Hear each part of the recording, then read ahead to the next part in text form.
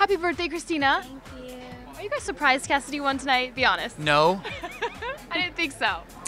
I mean, she, she's just done so great, and um, you know, I, I, I think she deserved it so much just because she's gotten such growth during Right. the whole process of the show. Yeah, and doing uh, country and everything. Well, and also to be honest, I was a little like in the beginning because we were all fans of hers.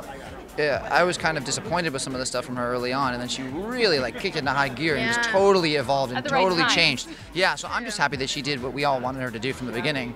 And what about Blake winning two years in a row? I think it's f***ing stupid and I hate it. Right? Because he's not because not because he won, but because he's you know. It's not about us; it's about No, them. but it's about Blake being annoying. He's gonna be so annoying. Oh, yeah, He'd be like, I with him won again. season." Oh yeah, I won. Shut up. You hear me, Blake? Shut the f up. Have fun at the after party.